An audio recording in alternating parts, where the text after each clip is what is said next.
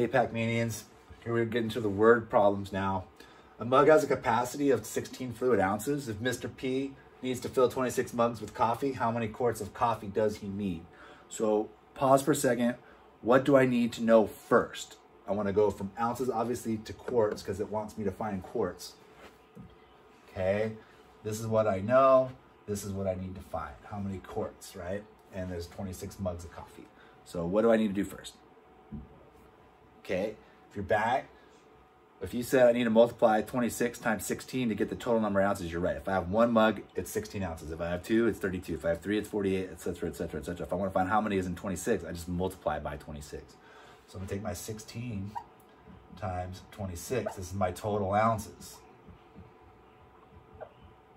Okay, so six times six. Go ahead and do this problem, then come back and check with me. Pause. All right, six times six. You got that 36, right?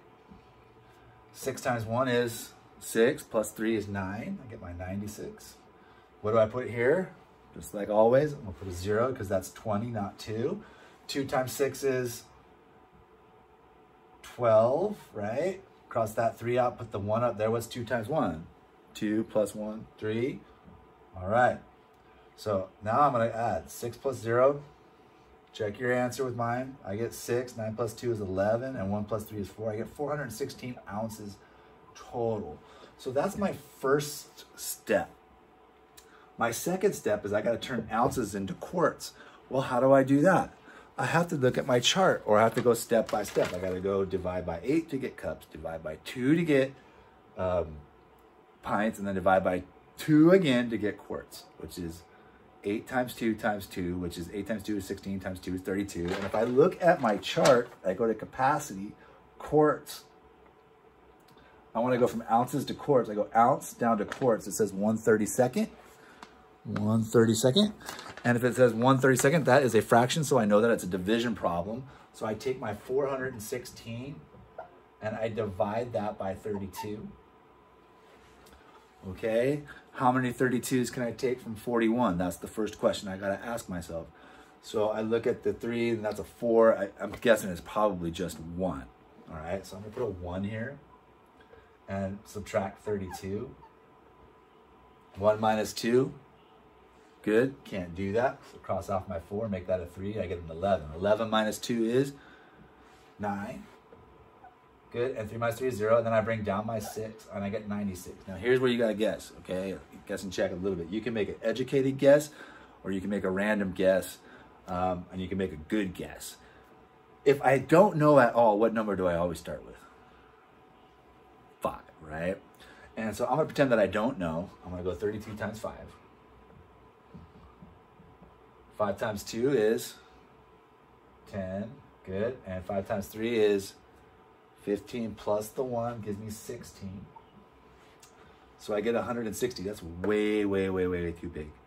So I got to reevaluate. I look at this as 32 and 96, and that's close to 30, and that's close to 90. How many threes, how many 30s are in 90? About three, just the same as threes and nine, right? So I'm to try three. Two times three, six. And three times three is nine. Good, so that's exactly what I want. I put a three there, minus 96, I get zero, so I end up with 13 quarts of coffee. All right, let's try another one. Okay, a room is 34 feet long and I want to find it in yards and feet. And every time I have yards and feet, that's a remainder. I know I'm going to do a division problem. And I just have yards and feet, so they're right next to each other. How many feet are in a yard? Check the chart if you don't know, but hopefully you do remember this one. There's three, so I'm gonna take 34 and divide it by three. Okay, do this on your own and then come back to me, please. All right, so let's check our work real quick. Three into 34, how many threes can I take from three? That's that one, right? Bring down my four. How many threes can I take from four? I can only do it one time.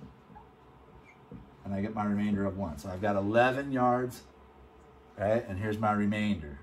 Remainder my new measurement. All right.